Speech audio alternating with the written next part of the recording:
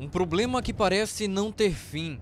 Por todo esse trecho da BR-101 Norte em Paulista, no sentido João Pessoa, os buracos aumentam a cada dia.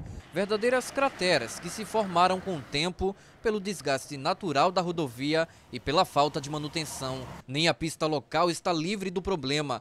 O resultado são acidentes, dia após dia, este serralheiro trabalha às margens da rodovia. Ele perdeu as contas de quantas ocorrências já presenciou. Inclusive tem um grande buraco ali, né, onde eu já presenciei vários acidentes já.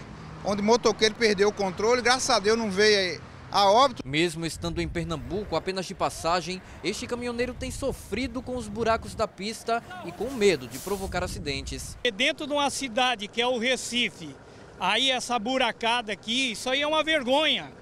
Tá? Aí a gente tem que fazer manobra aqui perigosa por causa dos buracos.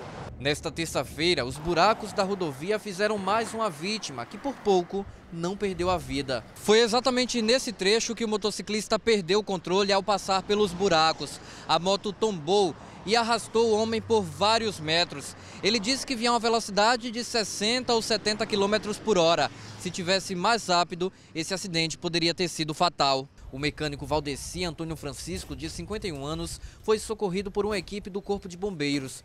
No Hospital da Restauração, ele chegou consciente, mas com o rosto desfigurado por conta dos ferimentos e fraturas. A vítima perdeu muito sangue, mas o estado de saúde era estável.